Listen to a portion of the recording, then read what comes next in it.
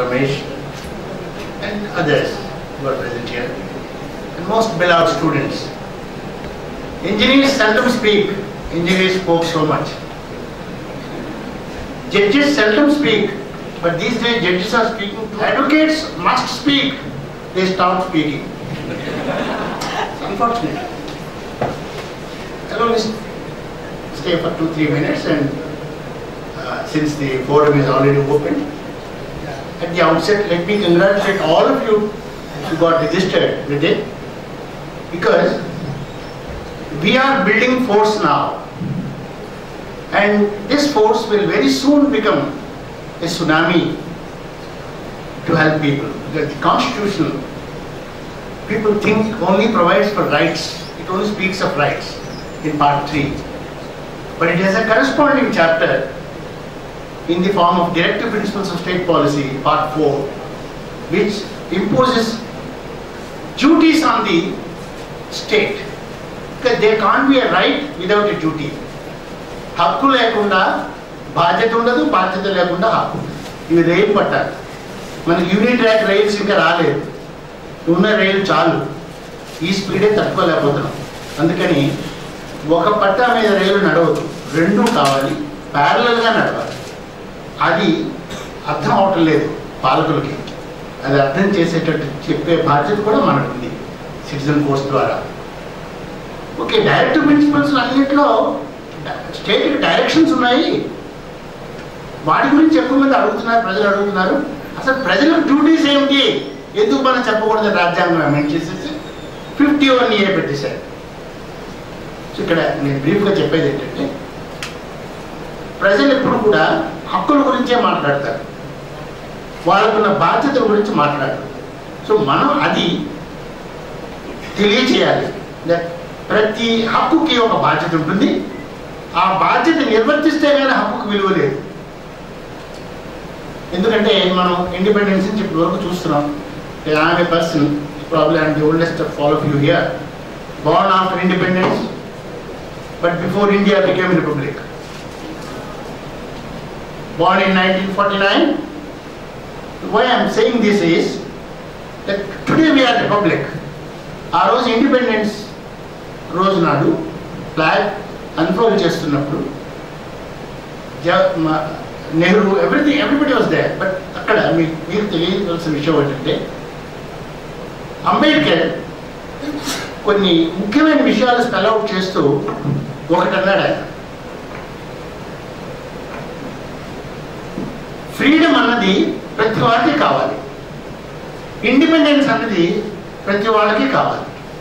So దాని గురించి refer చేస్తూ ఆయన independence is no matter a great joy to all of us ఒకసారి మనం ఇండిపెండెంట్ అని అనిపించుకుంటే ఎంత హ్యాపీ ఉంటుంది. So independence is a matter of joy to all of us but then ఒకటి మనం గుర్తు చేశాడు ఆయన ఆ రోజు.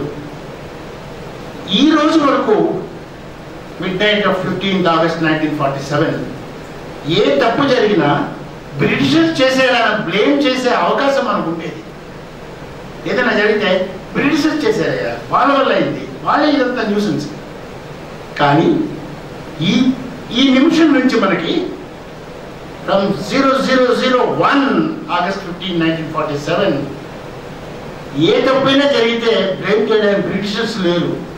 మనల్ని మనమే బ్లేమ్ చేసుకోవాలి. అందుకని if you respect others rights that is your duty and definitely your rights will be respected by others so ఈ కాన్సెప్ట్తో ఆయన అదని. అదే కాకుండా మనకి మన రమేష్ గారు అన్నట్టు ఈ ఫోర్స్ నడపడానికి ఎన్నో లాస్ ఉన్నాయి. అవి మీకు అన్నీ ఇక్కడ చెప్పక్కర్లేదు. మీరు ఒకసారి if you start moving once ఏదైనా హడ్డలు వస్తే అక్కడ మేము ఉంటాం మళ్ళీ. ఏ లీగల్ ఏ లా ప్రకారంగా మనం ఈ హద్దులను రిమూవ్ చేయొచ్చని. చాలా మంది అవరోధాలు కలిగించడానికి ట్రై చేస్తారు. డెఫినెట్గా చేస్తారు. అంటే మనం ముందుకు వెళ్ళనివ్వరు. కానీ వెళ్ళాలి మనం ముందుకు ధైర్యంగా. ఎందుకంటే constitution is the fundamental law of the land అందుకే అంటాం constitution is mother of all laws అని. మీకు మెడికల్ జూరిస్ప్రూడెన్స్ ఉండొచ్చు లీగల్ జూరిస్ప్రూడెన్స్ ఉండొచ్చు. అంటే ఏ చట్టం చేసినా రాజ్యాంగపరంగా ఉండాలి. రాజ్యాంగపరంగా లేకపోతే అది పనికిరాదు. అందుకని రాజ్యాంగం ఎప్పుడు కూడా supreme law of the land. So దాని కింద ఇవన్నీ వస్తాయి. సో ఆ కాన్సెప్ట్ ఒకటి మైండ్లో మీరు పెట్టుకొని మనం ఈ ఫోరాన్ని నడిపిస్తే ఒక రాజ్యాంగపరమైన డ్యూటీ నేను నిర్వర్తిస్తున్నాను. అందరి సిటిజన్స్ అన్ని పనులు చేయలేరు ఈ ఫోరంలోకి వచ్చిన వాళ్ళు ఆ ఉద్దేశంతో వస్తారు. ఎస్ అందరూ అన్ని పనులు చేయలేరు. అందరినీ మనం ఎప్పుడు బ్లేమ్ చేస్తాం కానీ నేనేం చేస్తున్నాను నేను ఆలోచించానన్న ఉద్దేశంతో ఈ ఫోరం నడుస్తుంది. డెఫినెట్లీ మేము అందరం మీతో ఉంటాం. ఎప్పుడు న్యాయపరమైన సపోర్ట్ మనకు ఉంటుంది. అందుకే థామస్ ఫుల్లర్ అన్నాడు be you ever so high the law is above you nothing is above law అంటే లా అనగానే చట్టాల్లో ఉన్నది రాసి ఉన్నదే కాదు. మనం నమ్మే ప్రతి మంచి థింగ్ మంచి విషయం కూడా చట్టపరంగా ఉంటే అది లానే అందుకని ఈ ఫోర్స్లో జాయిన్ అయిన మీ అందరికీ మరొకసారి నేను హృదయపూర్వకంగా అభినందనలు తెలియజేస్తూ మీరు నడుస్తున్న ఈ దారిలో మేము కూడా ఉన్నాం. మేము ఓల్డ్ అవ్వచ్చు బట్ మా బ్రెయిన్ ఇంకా డెడ్ అవ్వలేదు. మా బ్రదర్ అన్నట్టు ఇంకా మేము యాక్టివ్గానే ఉన్నాం. రోజు రోజుకి యాక్టివ్ అయిపోతున్నాం.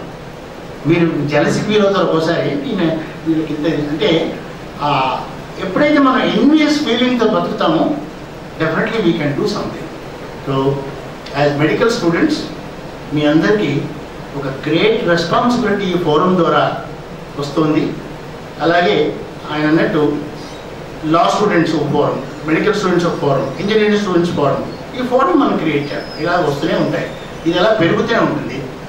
సో అంచేత మీరు ఈరోజు రిపబ్లిక్ డే ఇంత టైం ఇక్కడ వెచ్చించి ఉండడం నాకు నిజంగా సర్ప్రైజింగ్గా ఉంది. స్కూల్ పిల్లలంటే జెండా వందనానికి రాక తప్పదు వాళ్ళకి. లేదా వాళ్ళ ప్రిన్సిపాల్ గారు ఊరుకోరు. ఇక జెండా వందనం చేస్తే వస్తున్నాను అందుకే ఇది ఉంది. ప్రతి ఇండిపెండెన్స్ డేకి రిపబ్లిక్ డేకి ఏదో ఒక దగ్గర చీఫ్ గెస్ట్గా వెళ్తుంటాను. నా దగ్గర ఈ పెట్టుకుంటాను. వాళ్ళు ఇచ్చిన అక్కర్లేదు నేనే పెట్టుకుని పెడతాను. నేను పదిహేను ఏళ్ళు యూనిఫామ్ వేసుకుని డిఫెన్స్లో పనిచేసిన ఒక యుద్ధం చూశాను. సెవెంటీ వన్ వార్లో ఉన్నాను సెవెన్ డేస్ వార్ మెడల్ ఉంది. సో నాకు తెలుసు ఓ ఇది పెట్టుకుంటే ఎంత సరదా ఉంటుందో. సో నిన్న ఇవాళ చాలా సిగ్నిఫికెంట్ డేస్ రమేష్ తావాడు అన్నాను ఏమండి? రమేష్ గారు మంచి రోజు సెలెక్ట్ చేశారు. సుధాకర్ గారికి నిజంగా థ్యాంక్స్ చెప్పాలి మన డాక్టర్ గారికి. ఎందుకంటే ఇరవై ఆరు జనవరి సెలెక్ట్ చేయడం అది యాదృచ్ఛిగా అయిందో తెలియదు కానీ నాకు వండర్ఫుల్ ఈవెంట్ కింద నేను కన్సిడర్ చేస్తున్నాను. సో అలాగే నిన్న ఓటర్స్ డే అందరూ ఎన్రోల్ అవ్వండి ఓటు వేయండి అని చెప్పే బాధ్యత కూడా మనకుంది ఈ ఫోరం ద్వారా. ఫోరం ఇంకా స్ట్రెంగ్ అవుతుంది. సో అంచేత ఈరోజు మీ అందరూ ఇక్కడికి వచ్చినందుకు ఇంకా మేము చాలా హ్యాపీగా ఉన్నాం. ఇంతమంది ఫ్యూచర్ డాక్టర్స్తో పరిచయం అయినందుకు ఇంకా సంతోషంగా ఉంది. రేపు ఎక్కడైనా అవసరమైతే మీ దగ్గరికి వచ్చి ఇది నీ డ్యూటీ నన్ను ట్రీట్ చేయి అని చెప్పగలిగే శక్తి కూడా మాకు వస్తుంది. So thank you all once again for this opportunity particularly Sudhakar గారికి మరొక ఆపర్చునిటీ నాకు క్రియేట్ చేసింది. Thank you